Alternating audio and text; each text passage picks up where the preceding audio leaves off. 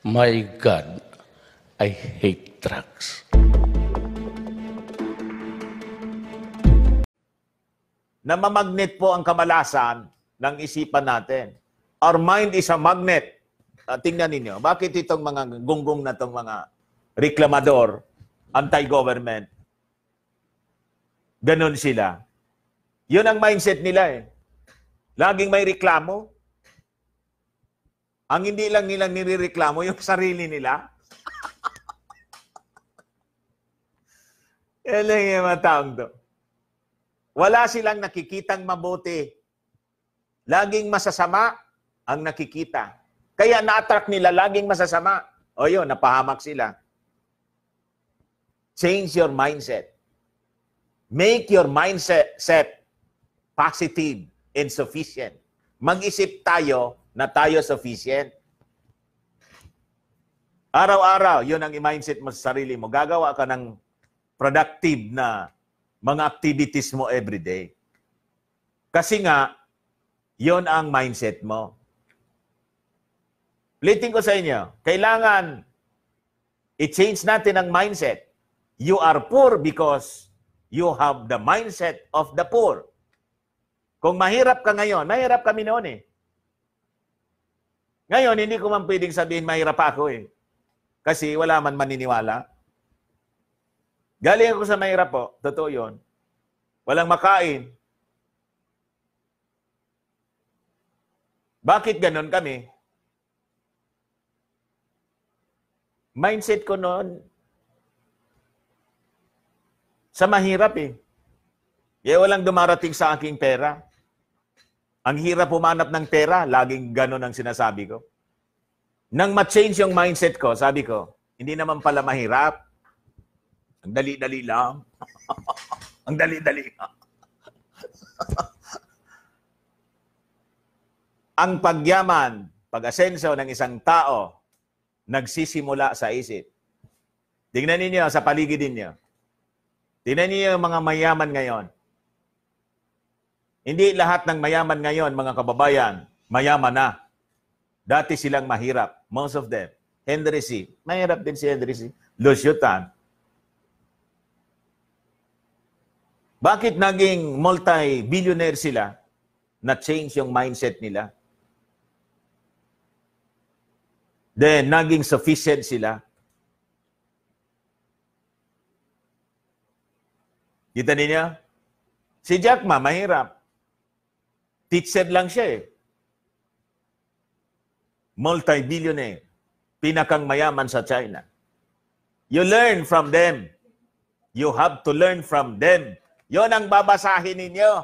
Hindi yung mga tinuturo ni Damaso. Hindi yung tinuturo sa human rights. Naubos yung panahon ninyong rally, maghapon. Magkano yung nakuha ninyo galing sa funders ninyo? 500? 1,000? Yung leader ninyo, naging senador na. Ang yaman-yaman na. Ginamit lang kayo. Kita ninyo? Huwag kasi magpagamit. Si Damaso, laging bukang bibig. Church of the Poor. Poor siya, hindi siya poor. Bakit siya mayaman? Ang associates niya, mga milyonaryo, bilyonaryo. Yun, doon siya kumukuha ng don- donations. Nasa sobre lagi. Ganon tayo ginagamit. Ngayon, kung magpapagamit ka, doon ka na sa magkikinabang ka, mga kababayan. Gamitin ninyo ng mahusay ang inyong talento, productive, and change your mindset. Have a mi- mindset of the rich. Learn from the rich kung gusto ninyong umasenso sa buhay. And associate with successful people. Hindi itong mga kumag na to. Ang associates ninyo, mga magugulo na tao. Paano kang asenso dyan? You see? Dapat doon sa taong matututo ka. Paano ang paggamit ng pera? Sabi ko nga, dati, Ang lakas-lakas ng loob naming mangutang. Yun ang most of us, tulad ko. Pag sa pangungutang, ang lakas-lakas ng loob. Pero sa pag-invest sa negosyo, takot na takot. Sayang niya eh. Baka niya malugi lang.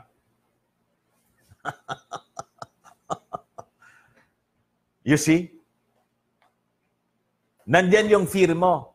Yung mga umasin sa buhay, na wala, na manage nila yung fear nila. Na manage. No guts, no glory. Tama po yon. No guts, no glory. Ngunit ngayon ko siya naintindihan. Kung natakot kami, hindi kami natatakot. Fear is, you know, an instrument of Satan. Kaya ang sabi ng Diyos, fear not, don't fear. Ang takot, mga kababayan, instrumento ni Satanas. Tinatakot tayo ni Satanas. Para hindi tayo magtagumpay sa buhay, huwag kayong patatakot kay Satanas. We have the gift. Binigyan tayo ng napaka-valuable na gift ng ating Panginoon. Gamitin natin sa tama. Kaya lang yung mga gift na yon, ginagamit ng karamihan natin sa masasama. O, tingnan ninyo yung ginagawa ng mga yelo. Imbis tumulong sa ating pamalaan para maayos yung ating bansa, ginagamit nila sa masasama. Ayos? Uh, napunta tayo doon. Bakit tayo napunta doon? O, tingnan ninyo si Madam ano, Eileen Rosales. Sabi ni Madam Eileen Rosales, ewan ko kung bakit. Kaya siya laging nanonood daw sa akin kasi nabibless siya. Pati yung mindset niya na bago. Kita ninyo? Di ko alam na ganun pala yung epekto kay Madam Eileen Rosales. Ma'am, hindi ko talaga alam na ganun yung epekto sa iyo ng live streaming ko. Iwan ko dito sa iba. Marami din akong na, na ano, na babasa na mga reactions ninyo na may natutunan kayo. Maraming maraming salamat po. Ganun lang mo. Ito po na sinasabi ko sa inyo, based ito sa karanasan ko eh. Grabe po, mga kababayan, yung aking karanasan sa buhay. Sabi ko sa inyo, asa na yung picture ko nung nag-graduate ako? Tinago na ni Mrs. Ayaw na niyang makita yung picture ko. Kasi yung sapatos ko doon, butas. Butas. Hindi nga ma madaanan ng ano, brass. Hindi yun nasa shine. Graduate ako sa college po. Walang sumalubong sa akin. Ni ni. Ni family ko. Wala. Baka magkaiyakan tayo rito. Wala. Walang sumalubong sa akin. Mga kababayan. Ang sarili ko lang, pag-ari ko, mga kababayan sa suot ko nung graduation, brief. Brief lang. Yung long sleeve, iniram ko sa kapatid ko. Yung toga, utang. Yung pantalon, galing din sa kapatid ko. Yung sapatos, sa kaklase ko, butas pa. Midyas, butas. Butas na mabaho pa.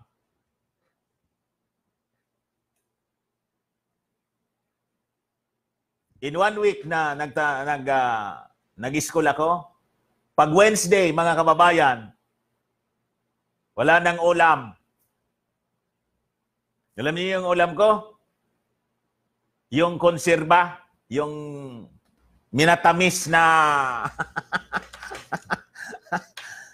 yung uh, nyog na kinudkod sa Bicol.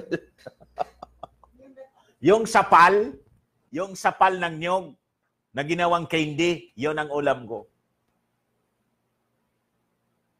Pinipiga ko lang yung gata at wagwag ng asin hanggang Friday. Ganun po. Kaya nga, ay nasan yung ano, libag ko dito ang gold. Pag nag, yun, na- tinabi ko kasi baka madukot eh. Di ko masyadong dinidisplay.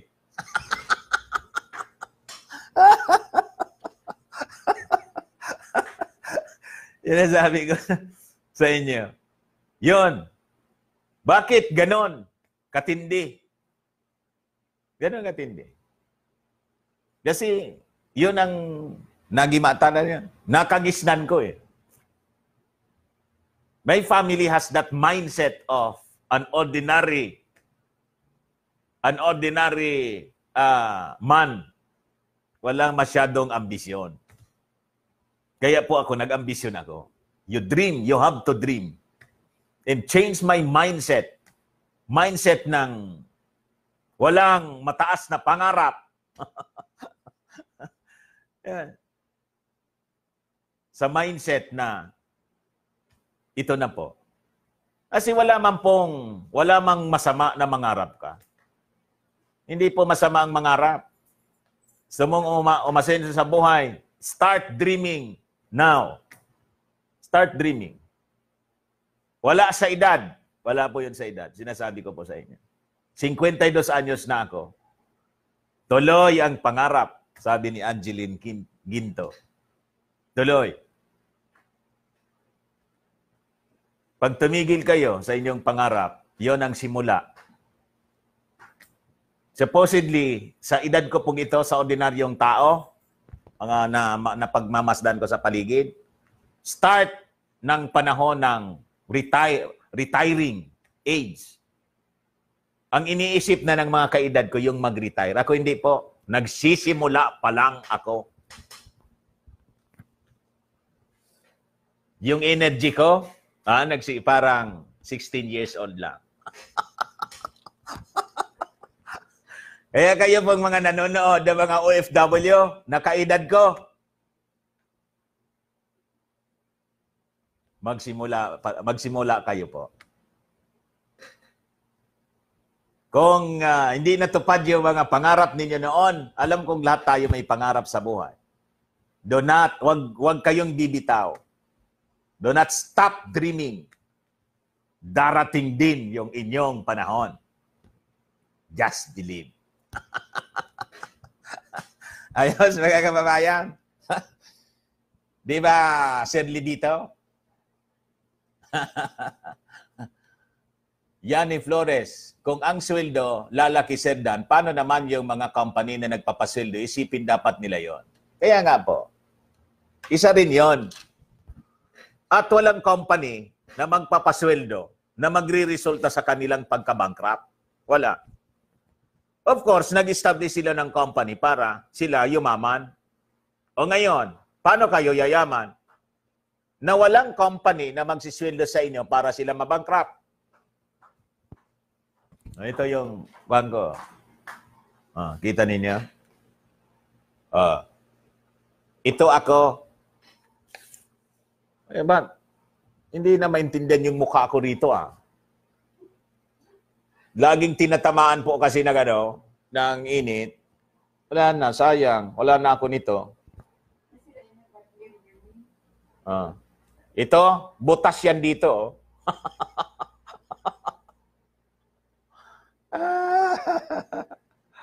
Itong pantalon ko, ah, sa kapatid ko yan. At makita ninyo yung makita ninyo yung kamay ko, itong kamay ko, oh. hindi ko hindi ko tinatas ang kamay ko dahil sa rilo. itong kamay ko, puno ng ugat. Puno yan. Trabahador eh. Ganon, mga kababayan. Yon ang yon ang matinding kahirapan. That is why I dream. Malalim yung aking pangarap. Sabi ko, kailangan gawin ko ito for my family. Ganun lang po. Kailangan may may inspirasyon tayo. Sino yung mag sino yung inspirasyon natin sa paggawa ng mga sa pagtupad ng ating mga pangarap. Ganun 'yan. Ganun po 'yon. And with your age, do not stop dreaming. Huwag tayong titigil para tuloy ito. Tingnan ninyo, si Henry C.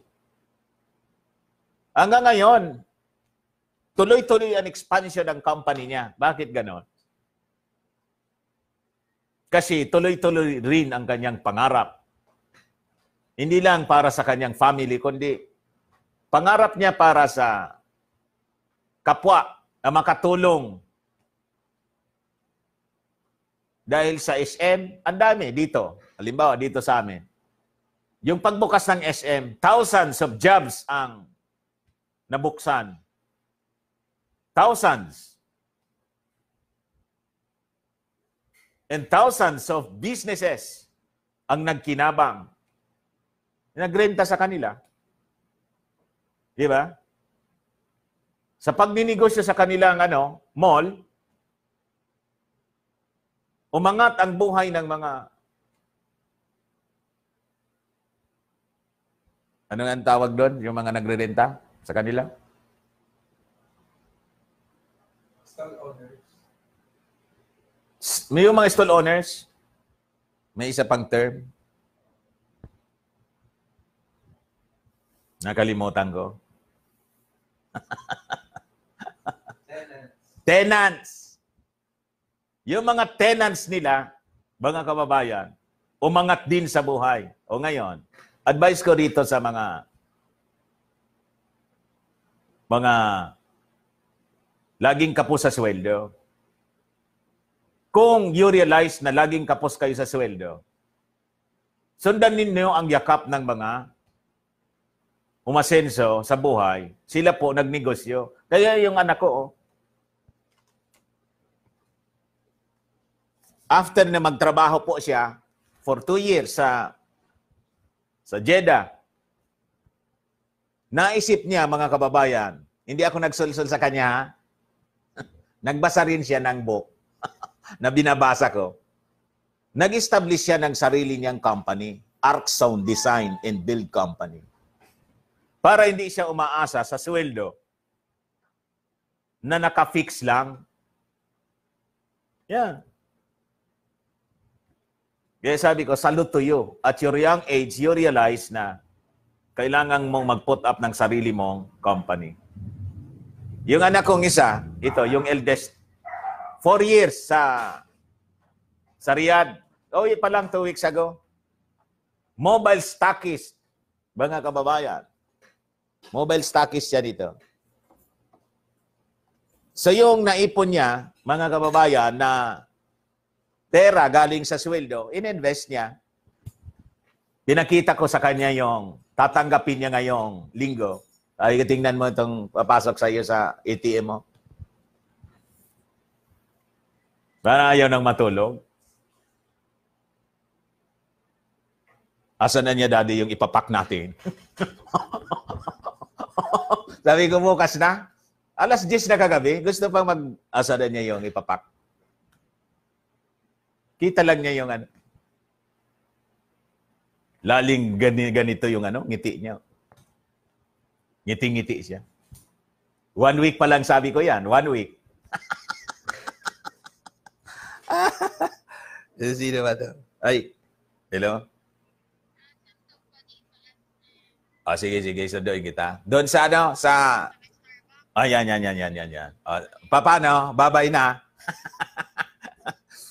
Mga kababayan, di, yan po ang sinishare ko sa inyo, yung mga laging kapos.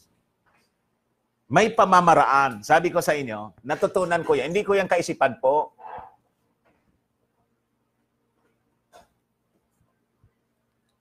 Natutunan ko yan dito sa pagbabasa ko sa mga libro nito. Oh. Retire young, retire rich. Yun ang babasahin po ninyo. Midas Stats, oh, Donald Trump, Robert Kiyosaki. bawat mahawakan ni Donald Trump nagiging ginto.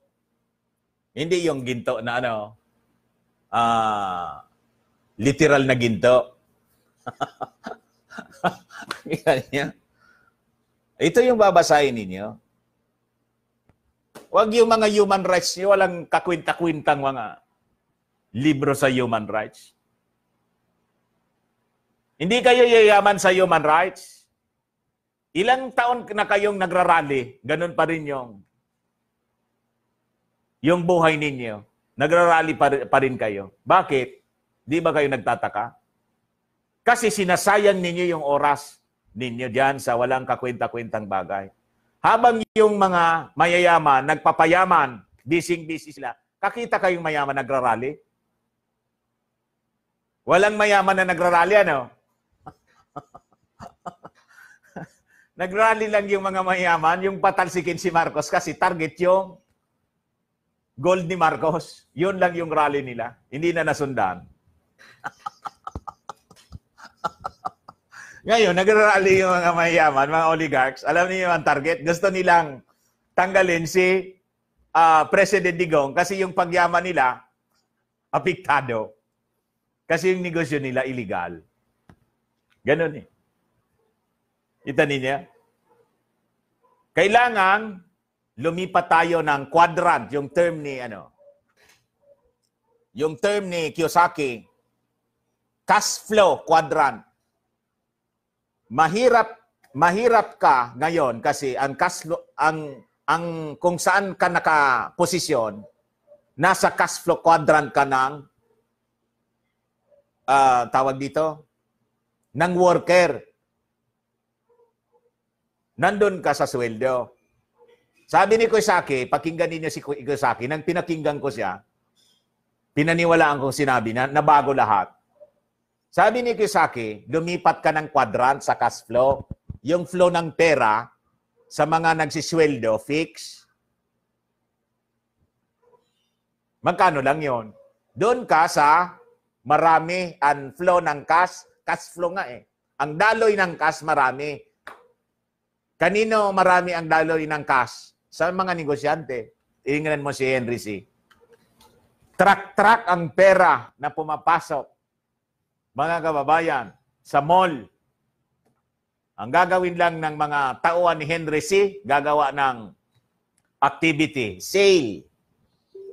Ngayon, Pasko, laging may sale.